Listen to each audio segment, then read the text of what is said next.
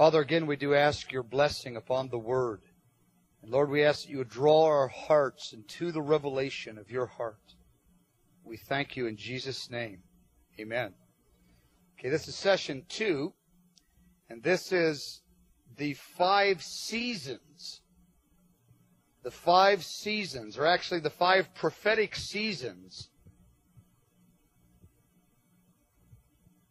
as God trains leaders. These are the five seasons, the five prophetic seasons in God's training strategy for leaders or for ministries.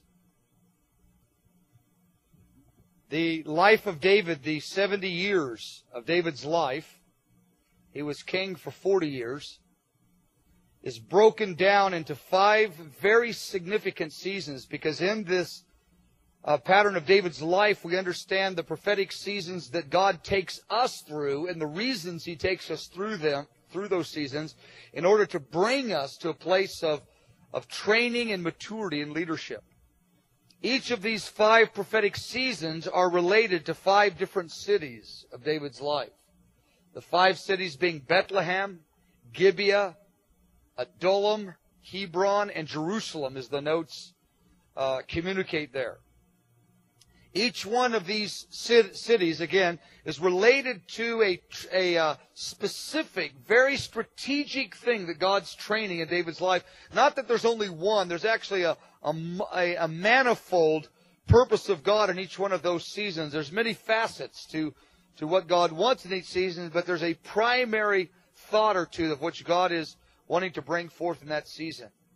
In the first season, in the Bethlehem years, what the Lord wants David to do is he's beginning the journey of gazing on the beauty of the Lord. And as we'll look at next week, I believe that David wrote Psalm 19 when he's looking at creation. He's seeing the beauty of the Lord in creation. He's seeing the beauty of the Lord is revealed in the, in the written word of God. And it's in those early days where the Lord is beginning to draw David into that man after God's own heart kind of relationship. That God wants David to derive his, his meaning in life from being loved by God and being a lover of God. A phrase that I've said for some time now that I'm loved and I'm a lover, therefore I'm successful. And that's a phrase that I've worked out from the life of David and from the life of the Apostle John. Putting together different phrases and, and putting together different principles and, and uh, episodes in their various lives. That's the most summary, brief way that I can say it. That God wants us to derive our primary identity from spiritual truth. He wants our primary identity to be a spiritual identity of who we are in the Lord. And that's what he's establishing in the Bethlehem years. As he's revealing, as we'll look at in Psalm 19, the beauty of creation He's revealing the beauty of God revealed in the Logos, the Word of God, or the Torah in David's uh, uh, context, his setting. When we know that we're loved, and we know that we're lovers of God, that's who we are. Though we struggle, we're not hopeless hypocrites. We are in fact lovers of God. That in the midst of our struggle, when the enemy calls us hypocrites and failures or tries to tell us he defines us by our sins, he defines us by our shortcomings, we say no and we define ourselves by the cry in our spirit to be a lover of God. One of them is how God feels about us. The second one is about how we live before God. I may stumble and fall, but at the core of my being, the cry of my heart is to be a lover of God. And that's what defines me. I am not defined by my shortcomings. I'm defined by the cry in my spirit back to God. That is the primary spiritual, the primary identity that God wants to build into David's life. That's the primary identity that God wants to build into your life in the early days of your spiritual life. It's the thing that is most common uh, experiences, most believers don't really enter, enter into that in the early days. They don't see the beauty of the Lord in the natural arena of life, and they don't see the beauty of the Lord in the revealed Word of God. And therefore they can't see the beauty of the grace of God in their own lives and who they are as a lover of God. We are loved and we are lovely to God. We are loved and we are lovely. Therefore we are lovers. That's really how it boils down emotionally. And so God wants to d- develop this in David's life. God has ordained that we have a primary identity, which is our spiritual identity, what we look like to God. But it's also true that we have a secondary identity, our natural identity, what we look like to people. Our primary identity is what we look like to God. Our, our secondary identity, our natural identity is what we look like to people. And that's the arena of our, of our finances. If we have a lot of money, we look good to people. It's the arena of our skills and abilities. If we're real talented or gifted in a particular area, whether you're brilliant in some uh, intellectual skill in life or whether your hands are skilled in some form of, you know, uh, uh, uh some kind of craft or of, of some artistic ability, it doesn't really matter. People typically derive their meaning and their identity by their skills whether they're mental or, or physical skills, whether they're a great athlete, a great singer, they can build things real good, they can design things real good, they can figure things out real smart. They define their life and their value by their skills. Others define their life and their value by their physical conditioning. If they're they have real pretty looks or their condition of their body or they're a great athlete. Others by the relationships. If they hang around with the rich and the famous, then they kind of derive a certain meaning by hanging around with the, quote, successful people. There's many ways that we derive our, our secondary identity, and those secondary identities are really a part of our life. We cannot repent from them having some impact on us. God just wants them to be secondary, that's all. He wants us to be successful because of the fact He loves us and because of who He is and what we are to Him. That's where He wants our identity. When I mean our identity, what I mean by our deriving our identity is why, how we define why we're successful. That's what I mean by our identity. What is it at the end of the day when you can finally say, yes, I am successful? What is the definition where you can lay in your bed at night and say, yes, I am successful? That's what I mean by your identity. However you answer that is the way you identify your life. It's the way you define, you derive your value and your meaning and your purpose. Most people derive their value, their meaning, their purpose. I'm using those somewhat synonymously. Their value, their meaning, their purpose. They define they're successful because of the money, because of the gifts, because of their physical condition, because of the relationships they have with other people the position they have in the company or the ministry, and if those things are favorable and natural in the natural uh, uh, value system, then they feel successful. But that's a lie. You're successful in the most dynamic, absolute sense of the world, uh, word because He loves you, because you're the object of His love and you said yes to it, and because there's been a emerging, budding impulse of your heart by the Spirit of God. You're a lover of God. You want to love Him back. Therefore, the thief on the cross is one of the most successful human beings of all of history. He's one of that, quote, whatever billion of history, of the 10 or 20 billion of history. He's one of the very small remnant of the human race that accepted the free love of God in the most embryonic way, but he did exist. That beginning bud of love in his heart back for God. He steps over the line of physical death. He wakes up in paradise and he understands that he's a king. He goes, no one ever told me I was a king, and I'm a bride, I'm a queen as well. He's over all the angels. He's crowned in glory before God forever and forever. He said yes to the love of God, he said yes to becoming a lover of God. In the most embryonic way, he gazed at the beauty of the Lord and a little bit responded to the outworking of that beauty in his own life. That's what makes us successful. The Lord knows that David will never be he will never be a safe king, a safe leader until his identity is in the Lord and not in what he does. And we're going to find David through his life. The most remarkable thing, David derives his meaning and value by who, how God feels about him, what he, what, what, what the truth of God and what he looks like to God. What God feels about him and what he looks like to God and how he responds to God, that is where he's going to derive the essence of what his life is about. So his whole kingdom is being threatened and taken away from him in the reign, I mean in the, in the, uh,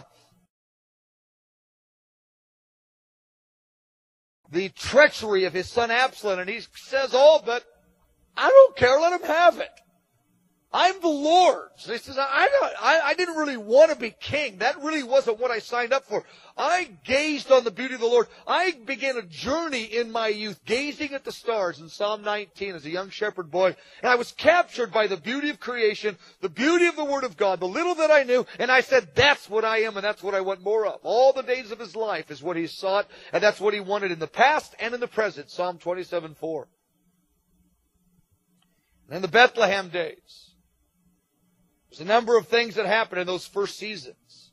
The Lord's working on David, revealing the beauty of the Lord to David, revealing David's beauty and David's loveliness back to God, uh, capturing David's heart, enthralling David with God and understanding, David began to understand God was enthralled with him and David had a sense of well-being and fulfillment on the inside of him before anything ever happened. He was already successful before he began any of the seasons. That's what the Lord's plan was.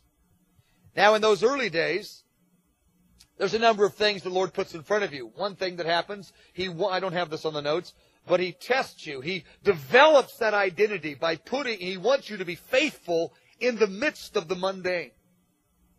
Faithful in the midst of the mundane. People all imagine being faithful when they stand before thousands or they administrate millions. They somehow imagine one day they will wake up faithful before thousands of people and overseeing millions of dollars and great influence. But between now and then, well, all this other stuff is boring and besides nobody's looking anyway, what does it matter? And the Lord is wanting us to derive our pleasure in life, our identity, our pleasure in life from being loved and a lover so the mundane doesn't break us. The mundane doesn't cause us to lose our way before the Lord. Because we actually have pleasure. Thank you, Matt.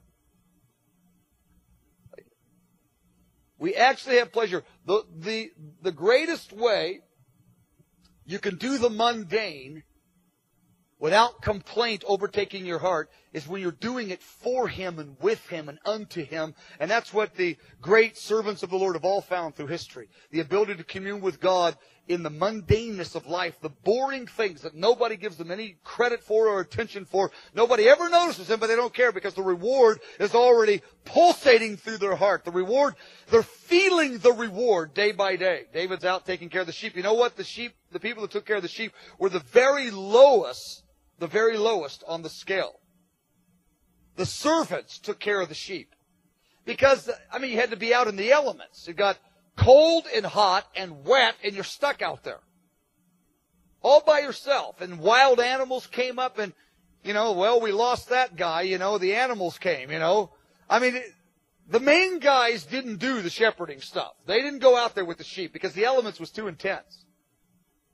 I mean, imagine somebody says, you're going to take care of the lawn, but you're going to stay out outside for seven years. I mean, literally, that's what the shepherds did. David was, I mean, this is a very, very powerful thing. David was so low on the economy of his family. This is not a joke. This is real. That when, we'll look at this, a little bit of this next week possibly. When David's, when Samuel, the prophet, comes to little Bethlehem, 300 people in the town, I mean, the man of God, the most famous man of God in the world, the known world of that time would have been Samuel. He was known all over Israel and even from the, in the nations beyond. He spoke and earthquakes came and storms came at his word. I mean, the mystique around Samuel was amazing. The most famous spiritual leader, the man next to God, the man like the closest to Moses in that generation, comes to visit their house. And he says, I want all of your sons here. The Lord has sent me. And the father, Jesse, won't even have David come. The seven brothers come and David's the eighth and he is not invited. And as Samuel looks, as the prophet looks at each of the seven brothers, wants to anoint one of them king, and, and as most of you know the story in 1 Samuel 16, he looks at, he's going to anoint the first one, the Lord says no, the second one, the Lord says no, the third one, he says, do you have any other sons? And Jesse kind of says, well, I, I, I mean, technically yes, but I mean, I mean, it's David, and they kind of rolled their eyes. No, you're Samuel. This is David. He said, well, bring the kid in here, you know, and so David stands before him, and the Lord says, "That's the one." And but here, when David, when Samuel looks into David's eyes, He's not looking at the guy longing for a destiny. He was looking into the only man in that whole group who actually was enjoying where he was. He looked at the, in the eyes of the only one that was settled and at peace on the inside, and that was the king. He says, you're the only one who doesn't care about it because you're already lost in something else. You're the one that God has chosen. You know a little bit what God looks like, and you know a little bit what you look like to God. Therefore, you can tend sheep with a song in your heart, because the sheep isn't what you're doing. You're singing when you're out there. You're interacting with the God of the universe, the Psalm 19 God that I believe he wrote at that season of his life. Faithful in the mundane. You know why the mundane crucifies us? Because there's no pleasure in it. Because we can't find God in the present tense. We have to find God in novelty. More money, more power, more cool people, more exciting circumstances, and finally, that craving for rest and pleasure is at peace. And the Lord says, you know what? You're not going to find it in any of those things. You're only going to find it in me. That's technically what it, what Psalm 90 verse 1, the Lord's my dwelling place means. So David was the only one, when he looked in his eyes, was actually at rest. He was actually the only one actually enjoying the Lord. The only one that actually had a song in his heart, and he had the most difficult circumstances of everyone. Everybody else was looking for some novelty to prop them up, to take the pain away from the boredom and the mundaneness of their life, which was really an indication of their spiritual uh, boredom. Our boredom in life is spiritual boredom. We think our boredom is life we need to meet some more cool people, have some more money to spend or oversee, have more anointing to work with. Our boredom at the very core is spiritual. It's with God. Because when the man or the woman is enthralled with God, the issue before them is not the big issue. That's what's going on in David's life. Faithful in the mundane, enjoying the Lord in the mundane, therefore the mundane's not a burden to him. I've had times in my life where I, enter, I, I touch this and lose this and touch this and lose this. I've had times when the mundane I could just so enjoy the Lord and, and other times where even the exciting was tormenting because I couldn't connect with the Lord in the way I did even in the other seasons. There's no circumstance that can satisfy the craving of your heart made for God. We're always looking. Most people in the church think it's in the ministry somewhere. In the anointed people thinking something good and anointed about you. That's really never going to take away the cry of your heart. I know X amount of anointed guys out there, and some of them are the most spiritually bored, absolutely broken inside, discontent, angry people. I mean, I'm talking about some famous guys. I know there's only one place, and God does this in David's life. He finds the song in the secret place. It doesn't matter what he's doing. The second part about the Bethlehem season, it's the time when the prophetic promises were given. It's the time when the prophetic promises were given. And faithfulness was required in the mundane, or the ability to enjoy God in the mundane is a better way to say it. Samuel comes in, says you're gonna be, you're gonna have this kind of impact. But God doesn't want your identity in that promise. God, you're not famous, you, you're not going to be successful and happy because of these promises of being king. If you're not already successful and not already happy, being king will torment you and it'll torment the nation. That's what the Lord was telling David. That's the essence of it when you put the Psalms together. It's amazing. Like I said already, it was, he's 17 years old approximately. He's not king over all Israel. For 20 more years, he's not king over all Israel. Now, David didn't know that. Nobody knew that. Season number one. Establish your identity in being loved and a lover. The ability to enjoy God in the mundane. It's when the promises come. Those promises can torment you, not just excite you. I have been tormented by promises sometimes, not just empowered with hope. How many of you know that hope deferred makes the heart sick?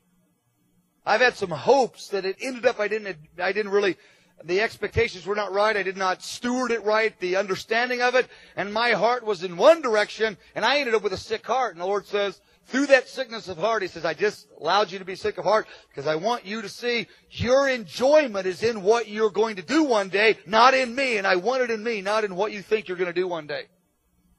Mike, I want you to enjoy me regardless what you do. That's the key. I let you be heartsick because I want you to discover the greatest thing of life. I am enjoyable right now if you want me to be. Oh, but Lord, when the revival, the Lord says that revival's really not going to satisfy you like you think it is. I will satisfy you today as much as I can then. Give yourself to me. See my beauty in creation and see my beauty in, in my word. In the natural revelation of creation and the spiritual revelation of the Word of God, the beauty of the Lord, Psalm 19 is what I believe that God gave David in that season. Again, we'll look at that next week. Number two city, Gibeah. Gibeah is, is the capital at that time. It's where, it's where Saul, it's where the president of the nation lives. It's where the prime minister lives. Gibeah, it's Washington D.C. in our context. Gibeah, David's identity is strengthened and tested and tested by early promotion. What happens? We know 1 Samuel 17, and we'll look at it in more, a lot more detail. He stands before Goliath. Now we know Goliath is a children's church story, but beloved, it's more than a children's church story. It, it is one of the most dramatic military crisis answered in a miraculous way in the history of the world, of all human history. Israel is going to be annihilated as their national existence is in the balance. This is for real. This is about like Israel right now and all the Arab nations breathing. I mean, they are going to be annihilated. Things are, are not going good under Saul. Saul's already been rebuked two times. The favor of the Lord's off of him. And there's a demon that's on Saul right now. Saul's demonized. The nation's in trouble. A nation led by a demonized leader is in big trouble, and that's where most of the nations of the earth are. It's trouble. They don't think right under pressure. They think crazy thoughts that wreck people's lives when they get under pressure. And they have demons leaning on them. Israel's in trouble. Saul is absolutely scared to death. Saul has lost all of his courage that was given him by the Spirit in the early years. The Philistines, they line up on one side of the valley the, the uh, Israeli army on the other side. And the army of Israel is convinced they're going to lose. And they are going to lose. And here's what the Philistines are going to do. The Philistines have an accumulated rage against Israel that you can't imagine. They're going to kill the men. They are going to rape the women and enslave the children for life. After this battle. This is serious. This is not a small thing. And David comes there to visit his, his older brothers who are in the military, to bring them some, pre, uh, some bread and some food. And he hears this Goliath taunting the armies of Israel, the Spirit of the Lord that's been on David since Saul, Samuel anointed him. And a number of great things have happened. The Spirit of the Lord's been on him. And David, it's not that David just got a, Uh, an emotion of courage. The Spirit of the Lord was on him. This was a divine opportunity, a divine setup. This was a sovereign setup. This wasn't just his natural everyday courage. This was a spirit empowered act of courage. Because as he says in 1 Samuel 17, he killed the lion and the bear two other times. This is after the anointing's on him. A lion comes up and grabs a little lamb. David walks up to the lion as a 17, 18 year old young man, 16 takes the lion and kills the lion. The Spirit of God's on this young man. This is after the anointing. And then a bear comes. He takes the bear out. David, and the reason he took the lion and the bear, God was building confidence, which is a spiritual principle. I don't want to go on a bunny trail, but God allows you to kill the giant and the bear before you face the giant. God says, I'm going to give you a couple little confidence boosters in the spirit before you face Goliath and the extermination of the nation of Israel. This is not just a children's church story. This is a serious military political crisis in the, in the history of Israel. He stands there and he goes, guys, the same spirit's on me. He didn't just say it that way, but that's what we understand is happening. He goes, uh, it's here, guys. The Lord's with me. The Lord is with me. I'm not afraid of that guy at all. Something they're looking at him go, David, his brothers rebuked him and said, you're just an arrogant, arrogant, insolent, proud young man because Samuel prayed for you and you're just filled with pride is what his brother said. He says, well, I don't know about all that, but I'm going after that giant. I'm getting to the story ahead of time. But anyway, here's the point. Let's skip the story. He defeats the giant. The nation is so overwhelmed with joy that their, the calamity is over. It was a stunning supernatural victory. The USA Today, literally, the, the, in the streets, they were singing songs about David. He was on the front of USA Today. He moved to Washington, D.C. He moved to Gibeah. He moved to the king's court. He literally moved to the White House in our context. It's a 17 year old boy. Says all the young virgins of Israel were singing songs about David. I mean, imagine what would go to the head of an 18 year old man when all the girls in the land were singing about him. He moves in with the president, front of USA Today. He's over all of his brothers. He's one of the main commanders in the army. He's over a thousand now. He's only 18 years old. He's over a thousand soldiers who've been in the army for years. The king loves him. I mean, the king sees no wrong in David. The king says, I'd love you to marry my daughter. David's identity is being tested early promotion. Now here's what David didn't know, and this is what, this is absolutely the pattern of God in the scripture. God gives early promotions to strengthen your identity, and He's going to take that sphere of promotion away to strengthen it again. There's a verse in Proverbs 21, I don't have it just off the top of my head. It says that a man is tested according to the praise that's given to him. If any of you know it, just shout it out so we can get it for the others. Proverbs 21 something or other. A man is tested according to the praise that's given to him. In other words, there's, there's a season in your life and everybody goes, you're incredible, you're incredible, you're incredible. And the Lord says, I'm testing your heart right now. Because if you get your identity, your sense of value, importance, and meaning from those statements, you're going to end up corrupted in a few years. And boy, I tell you, the girls were singing, the, the over a thousand soldiers, national calamity is averted. And David says, I, I, this is all fun, but I love the Lord. I'm, I'm not into this. I, I don't mind doing it because it's the will of God, but I'm loved and I'm a lover. I'm enjoying something that's bigger than headlines. Headlines are not what's driving me right now. The headlines will come the headlines will go. David had no idea they were going to go very soon. It's lasted about four or five years. And I've met so many people in ministry. And I've had this experience uh, uh, to some degree in my own ministry where the Lord has given a season of promotion, a season of prosperity. And we always think this because we're Westerners. We always think that more is better. We always think that when the curve goes up, it goes up until the end if God likes us. Well, God really liked David and the curve took a sharp down. Westerners only can only have one comprehension of increase. John the Baptist said, I must decrease. That is a completely non-Western concept. To decrease with joy in the grace of God. We only think increase is good. But God's interested in David's heart as a voluntary lover increasing. He's interested in his identity becoming fiery and strong like iron in him so in the future he can be a blessing to the nation. He's 18 to 23 seems like David's whole life, but God says, no, David, you got lots of years.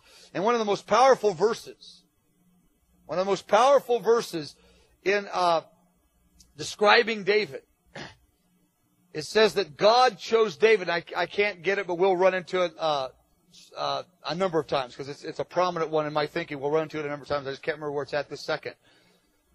But David said, the, the Spirit of the Lord, I can't remember who's saying it, if David saying it or Solomon, whoever, but it's saying that God chose David for the sake of his people Israel. Now, we think God chooses us for us. No, God chooses us for salvation for us and for Him, but He gives us a ministry for others. Most people, they want this ministry so bad so they can be happy. God's calling on David was never about David's happiness. God's love affair with David was about David's happy, not his ministry. We're pained over our ministry decreasing and excited over it increasing because we imagine, we never put words to it, that an increased ministry is about our personal happiness. And God told David, me calling you into the sphere of kingship was never about you. It was about the blessing I would give to people with a man like you in the right place. Matter of fact, David, I'm going to beat the tar out of you between now and then to get you to a place where I can trust you because it's about the nation that I care about. But that revelation either came to David or Solomon. But we imagine the anointing's I'll be greater. I'm going to be rich and famous and finally my mom will know I mattered. I amounted to something that's going to be great. And the Lord says, no, you got the wrong, totally wrong idea about why I just told you I'm going to anoint you. Chapter 27. Oh, it's Proverbs 27 verse 21. God tests a man according to the praise. Proverbs 27 verse 21. Thank you. Just counting on you. So in Gibeah, David finds out he's, he's got prosperity everywhere, but it's only for a moment. Oh, and how many men and women of God had a moment uh, in the light and they started strutting and they started getting their sense of feeling, joy, and enjoyment was related to the hour blessing. And the Lord says that's never how it was supposed to be. And David passed the test of promotion, early promotion. Suddenly, the Adullam years begin. Adullam is a city and there's a cave outside the city called the Cave of Adullam. David is operating out of the cave of Adullam approximately seven years. We don't know exactly if it's 23. That's an approximation. It's close though. Here's a man, USA Today, all the girls singing about him, in the king's house. Now he's being chased from cave to cave for seven years. Beloved, I'm not talking about three months. You know, they lost their job. We're talking seven years. No income. Seven years. Three thousand of the choice soldiers of Israel with one commission. Forget fighting the enemies of Israel. Let the other hundred thousand fight them. You three thousand, you assassinate David. That's your only mission. Three thousand against one. Go for it. The nation's not that big. You know, it's only about hundred miles by about thirty. Go for it. Kill him. Anywhere. Go for it. I'll pay you extra. Three thousand men for seven years are chasing David. We look at some of David's compromise. I mean, my goodness, the guy has some serious pressure. The Adullam years. David's identity is strengthened and it's, and it's uh, attested by adversity. By adversity. And it's a very different thing. Prosperity and adversity are very, very different. Mundaneness is very different than early promotion, and early promotion is very different than adversity. Three completely different kinds of wind blowing over his garden, if you will. You, the only way for comfort is David has to realign his heart. He has to say before the Lord, Lord, this pain is intense. Everybody's against me. I mean, David's brothers, his family. I mean, it was intense at every level. They're still in the army. They're still in Saul's army. He's mocked at. It says in Psalm 69, he goes, I became a reproach to my family and all my friends because I have zeal for God. He goes, my love for God has driven me to the place where my friends and families think I'm complete. They've written me off as being a fool and filled with pride. He goes, but I know it's real. Because David only got into trouble because he's doing the will of God with zeal guilelessly doing the will of God. But anyway, the only place you can find comfort in adversity is through realigning your mind with one truth. You, here's what adversity does. All this pain, I gotta get it fixed. Whether it's relational, economic, whether it's physical, whether it's your, your anointing, whether it's your loss of favor, your heart's going, ouch, pain, pain. And you go, how can I get the enjoyment of the early years? And then you ask the big question. You have to go to the big picture. Why am I living on planet Earth? What is life about? The uncreated, transcendent God filled with beauty. He loves me. He likes me. He is ravished for me. And I love Him and it feels so right to love Him. I'm loved. I'm a lover. Therefore, I'm successful. In adversity, he aligns himself, and that becomes like iron forged within his soul. That reality, his identity is being strengthened like iron in him. It's like the fire being, it's being uh, uh, melted together. God's heart and his heart under the fire. And David comes to adversity. Yes, he blows it a number of times, but he always comes back to that center every chance to live by an identity, by some other definition of success besides the fact of enjoying the Lord.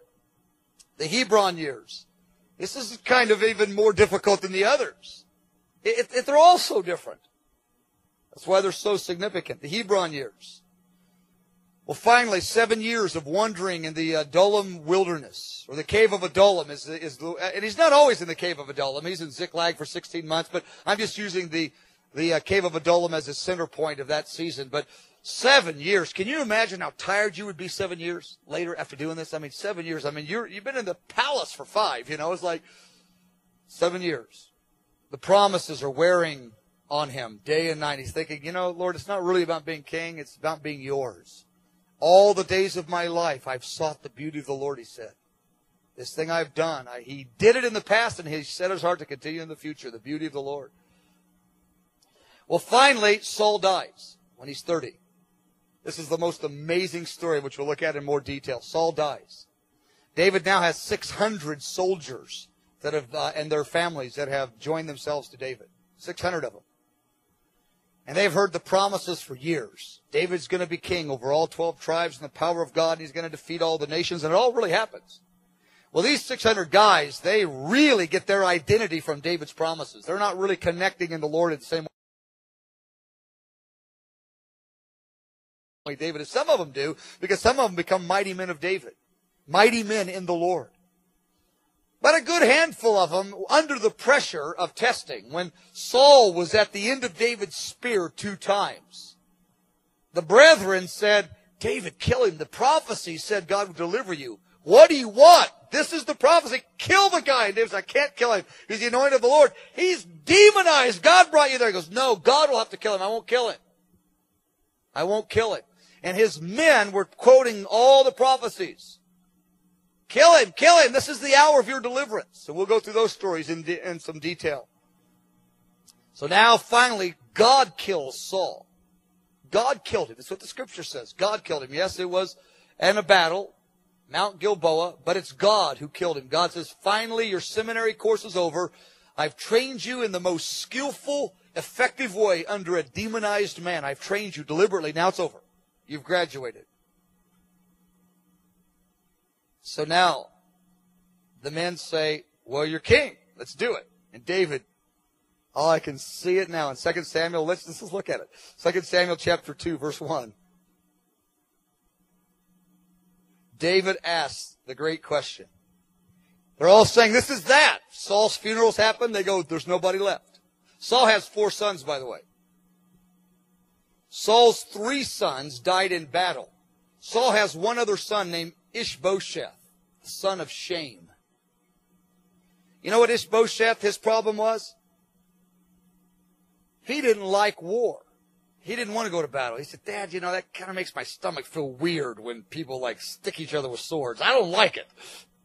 So the three sons went to war and died with the father. And the only son, the only obstacle for David being king of all Israel is this kid who hates war. This young man who hates war. He goes, I, I don't, I'm not really made for that kind of stuff. David is the mighty warrior king of Israel, and the only obstacle is a guy who can't stand blood. Seriously. The top general, his name is Abner, comes to David. He's, he knew David back in the early days, back in the Gibeah days. He said, David, he goes, this is really, this just kind of makes you mad, but it's just how life works. Abner comes to David after Saul gets killed and says, uh, you know, uh, you know when Samuel prophesied over you? And David goes, yeah. He goes, uh, we all believed it the whole time. We know you're the guy. David says, well, Abner, that's good, but why were you guys trying to kill me? He goes, well, we'd lose our jobs if we didn't try to kill you. It wasn't personal. Well, you know, Saul's really angry guy. I mean, you know, David, he would kill us. We, I mean, David, we knew you were the anointed of the Lord. They always knew he was the anointed of the Lord. That's an interesting concept, isn't it? Because Abner told him that at the end. He says, when he was bargaining with him, he goes, we always knew. It was clear to everybody. So Ishbosheth is the only obstacle, and everybody in the 12 tribes knows David's the anointed one. So there's, there's absolutely nothing between him and being king of Israel. Nothing. Zero. The guys are so excited. They say, David, this is that, this is that. David goes, well, wait a second, guys. You don't understand. I don't really want to be king. I mean, I'll be king if I have to be king. That's not really what I'm about. I'm a poet and I'm a lover. I love the word of God. I, am going to die in a few days. That's what he says in Psalm 39. He goes, my life is a vapor. I'm going to be gone in a moment. He goes, I, am going to be before the God of the universe. He goes, I'm lost in love. He goes, I, will be king if I have to be king. But uh, that's not really what I'm about. They go, David, what, what, are you, what, are you, talking about? He goes, well, tell you what I'm going to do. I'm going to go have a prayer meeting. They go, oh, no, no, don't do it in those prayer meetings, David. don't do a prayer meeting. And David does a prayer meeting. He goes in verse, chapter 2, verse 1, and he asks the Lord, he goes, should I go up? And the guys go, don't ask that question. What if God says no? And God says, yeah, I'll go up, but only go up over one twelfth, only over Hebron, not over 12 of the tribes, only one of them. Only take one tribe, Judah. He says, I don't want to give you the other 12 tribes right now, uh, the other 11. So he comes out of the prayer meeting. He goes, guys, guess what? We're going up. They go, oh, praise God. He says, just over Judah. The other 11 we're not going to take. They said, Ishbosheth, we can take him out today. No, no, that's not the point. I, I, don't want to be over the 11. Abner, they, they already know you're the anointed. They'll go with you. They're political. They'll buy in in a minute. No, no, guys, you don't understand. I'm not, that's not what I do. I'm a lover. That's who I am. I love God. That's what I'm about. So he goes, I'm just going to Hebron. So for seven years, he only is over one twelfth. Seven years in the desert. Seven years chased. He's been believing these prophecies for 14 years now. He has seven more years to go. Sounds like Jacob, doesn't it? Labor. 14 long years. Sounds like Joseph. You're going to be over your brothers. Then he's in the pit. Then he's over Potiphar's house. Then he's in the pit again. It just keeps going up and down. God's building an identity in his people. These guys for seven long years. They said seven years we were with you in the Adullam years, seven years in the Hebron years. David, it's 20 years now. It's 20 years. You're going to be old one of these days. You've got to enter into your promises. David says, I'm not worried about the promises. God found me in Bethlehem. He had my address then. He can get a hold of me in Hebron a lot easier than Bethlehem. I'm not about being king. I'm about gazing on the beauty of the Lord and seeking the face of God. Psalm 27, the statement of David's life. Finally, Ishbosheth dies. Seven years later, David's 37. Now he goes to Jerusalem. 37 years old, 20 years later. But he goes to Jerusalem as a man whose identity is in being loved and a lover, a man that's gazing, a man that's captured. He's one of the only safe kings in the whole history of the world because he knew where his joy was. He knew where his power was. Yes, we know the grievous sin he did with, he wasn't sinless there. But from age 37 to 70, those 33 years, I mean, the glory of the Lord touched that nation in victory after victory and strength, and people loved the Lord, and the tabernacle of David was built, and the worship of God filled the land. And David couldn't get distracted from it in a major way. Yes, he did some sins. He counted the nation, the number, he counted Israel at the very end in pride. But it wasn't the rule of his life. David wasn't sinless because of this identity. But David was safe as a leader before God's people. And he could lead people into this before the Lord. And that's what the book of Psalms is all about. People talk about David being the greatest military leader in history. David was the greatest lover of history is what he was. Look at the book of Psalms. Military's fine. He was a lover of God. That's going to live forever in the heart of God. Amen. Let's stand.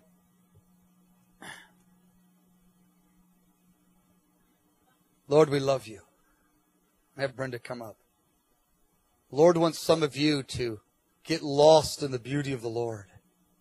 Now we're going to, again, we're going to look at these Psalms, a number of them, one by one, and open up some of the most glorious things that David saw. I just trust that the Lord will touch our hearts with them. They are glorious as they're written in the Psalms. Lord, we're yours.